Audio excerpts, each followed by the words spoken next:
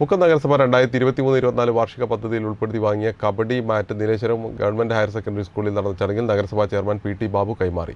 കബഡി താരങ്ങളും പ്രിൻസിപ്പലും ചേർന്ന് ഏറ്റുവാങ്ങി വിദ്യാഭ്യാസ കലാ കായിക സ്ഥിരം സമിതി ചെയർമാൻ ഇ സത്യനാരായണൻ അധ്യക്ഷനായിരുന്നു നഗരസഭാ കൗൺസിലർമാരായ M K Yasar Anithakumari Aswathy Sanoj Joshila Santhosh principal M K Haseela അധ്യാപകരായ Tomy Cherian Babu M K Sasi Vennakode Shereena teacher എന്നിവർ സംസാരിച്ചു. കബഡി ദേശീയ മത്സരത്തിൽ വിജയികളായ കുട്ടികൾക്കുള്ള സർട്ടിഫിക്കറ്റുകളും ചെയർമാൻ വിതരണം ചെയ്തു.